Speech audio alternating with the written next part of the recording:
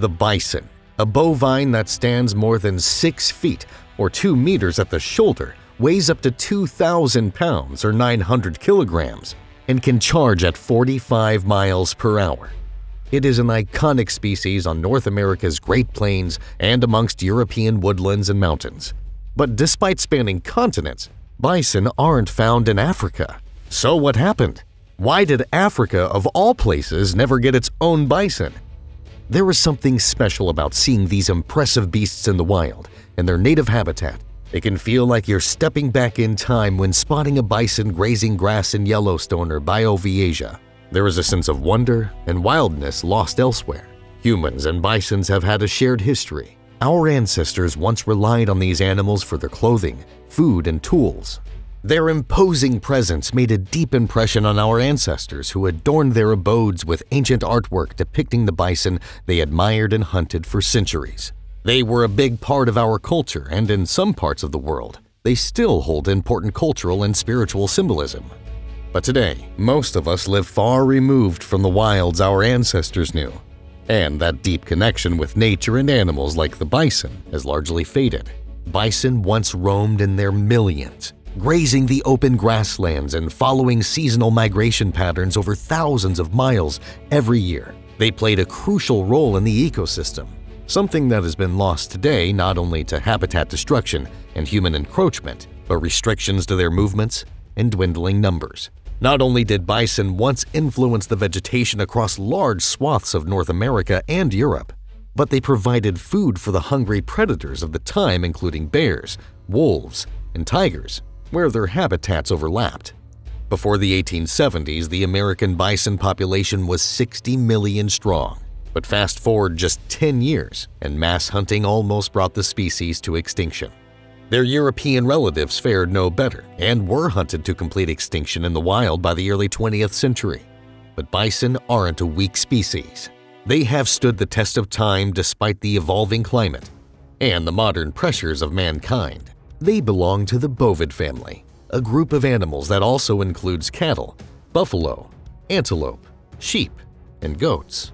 20 million years ago during the Miocene, the bovid splits into two main clades, one of African origin and the other of European origin. Those that diversified and evolved in Africa became the bovids of the continent we know today, such as the African buffalo, wildebeest, and the huge variety of antelopes. Today, Africa has the greatest diversity of bovids in the world. The bovids in Europe diversified into multiple species that adapted to the climate further north. One of those species was the bison, which first appeared in Asia around 2.6 million years ago.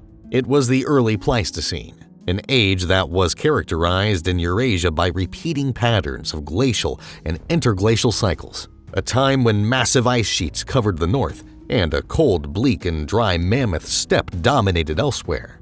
The landscape would have become home to formidable saber-toothed cats, the impressive woolly mammoths and woolly rhinoceros, as well as the domineering cave bears and cave hyenas. It was a time when megafauna ruled the world. And it was also a time of massive change, shifting ecological niches and patterns, and migrating species reaching far and wide. The bison were well adapted for this harsh existence. They are built for the cold. Their thick, long, shaggy coats insulate them from the freezing cold. Their enormous heads and muscular shoulders help plow through the snow in search for vegetation, and their slow metabolism allows them to endure the harshest of winters when food is scarce, and energy conservation is key to survival. At least three populations or subspecies of European bison were known to have existed during the Pleistocene. These were the steppe bison, European bison, and Pleistocene woodland bison. But it was the steppe bison that made North America its home. With drastically retracted seas, Eurasia was joined to the North American continent via Beringia, a land bridge that today is submerged beneath the waves. The steppe bison migrated from Russia into North America and spread throughout the continent. It was a process that took tens of thousands of years, a blink of an eye in evolutionary terms, but still a very slow process. The first bison to step foot onto American soil did so 195,000 years ago. This was the first wave of migration, A second wave took place between 45,000 and 21,000 years ago, and they never looked back. Why aren't there any bison in Africa? Although bison are distantly related to the bovids found in Africa, there was never a migration of them into Africa from Eurasia. By the time the species had established itself in Eurasia, there were physical, geographical, and climatic barriers preventing them from migrating southwards into Africa. And Africa already had its version of the bison. Herds of wildebeest numbering in their millions migrated across the continent in new grazing grounds, following the rains and the promise of better pasture. The barriers preventing an influx of European species into Africa included the Sahara Desert and the Arabian Peninsula, both inhospitable places, particularly for bison. During the Pleistocene, the Arabian Peninsula fluctuated between periods of aridity and wetter conditions. Even during the wetter times when greenery emerged and spread throughout the landscape, bison would have struggled to cross the peninsula to enter Africa.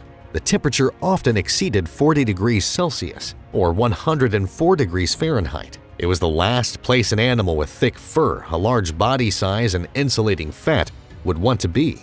They would have struggled to find enough food and water to sustain them and would have overheated in those conditions. Their inability to cope in arid conditions would make them easy prey for the likes of lions, hyenas, and leopards. Water sources were only temporary, and rainfall erratic and unpredictable. The continuous grasslands that bison thrive on were non-existent on the Arabian Peninsula. Instead, the grazing grounds were small and fragmented, much more suited to heat-tolerant grazers, like gazelles, rather than large, hefty bison. In fact, it is known that some African species, like early humans, elephants, and lions, migrated out of Africa and into Europe via the Arabian Peninsula.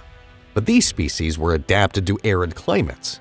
They were used to the harsh conditions the peninsula offered and were able to cross the barrier in search for a better environment without dying in the process. Even if somehow a small population of bison had made the arduous journey onto the peninsula, they would have faced stiff competition from well-adapted native bovids like oryx, ibex, and gazelles. These species can survive drought conditions. Their kidneys produce concentrated urine to preserve water. Their body temperatures can rise significantly to prevent sweating, and they have light-colored coats to reflect the burning sun. The same can be said for many of Africa's bovids. They are built for the heat, while bison were built for the cold.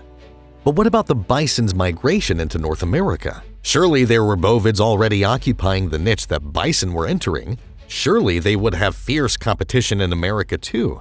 Well, not exactly. At the time, North America had no true bovids. Bison were about to change that, but America did have a number of grazers. These included horses, camels, pronghorns, and mammoths. When the Eurasian bison trampled their way from Siberia across Beringia and into North America, they weren't in direct competition with the native grazers. There was an empty ecological niche that they stepped right into, and far fewer grazers than there would have been in Africa. It would have been a sight to behold. The first bison arriving in North America would have walked the landscape along the likes of mastodons and giant ground sloths. These megafauna were generally browsers, eating a variety of plant material from bark and twigs to leaves and fruit. So, despite their size and herbivorous diets, they wouldn't have been in direct competition with the incoming bison. The climatic conditions of North America lent themselves to the success of the bison herds, and the vast open grasslands provided plentiful nutritious food, allowing the bison to thrive. In time, they became the dominant herbivores of the Ice Age, particularly in North America, and when other species died off, such as the impressive mammoths and mastodons, the bison continued to thrive. They spread out far and wide, migrating southwards and eastwards, taking advantage of the lush vegetation on offer. They eventually evolved into new species, the giant or the longhorned bison and Bison antiquus, the latter being the direct ancestor of today's American bison. The success of the bison changed America forever. Their large numbers and herding patterns reshaped grasslands. They created an entirely new ecosystem, one in which ground-nesting birds and pronghorn could thrive in the grasslands. The flora and fauna became intertwined with the movements of the bison. They are known as a keystone species, a species that has a significant effect on its environment, holding an entire ecosystem together. So, bison originated in Europe, migrated across Asia, and finally made it across the Bering Land Bridge into North America. There was no reason for them to move eastwards and southwards into Africa. There was no reward for migrating across challenging terrain and into warmer climates. Africa's sweeping savannas teemed with nimble antelopes, muscular buffalo, and countless grazers already fine-tuned to withstand heat and drought. The bison's dense coat, slow metabolism, and snow-plowing build, perfect for the steppes, would have been a burden under the equatorial sun. Evolution favors those who fit their environment, and in Africa, the bison simply didn't belong. That's all for today. If you enjoyed this video, don't forget to like, subscribe, and share it with your friends. You can also leave a comment with what you would like to see in the following videos. Thanks for watching, see you next time!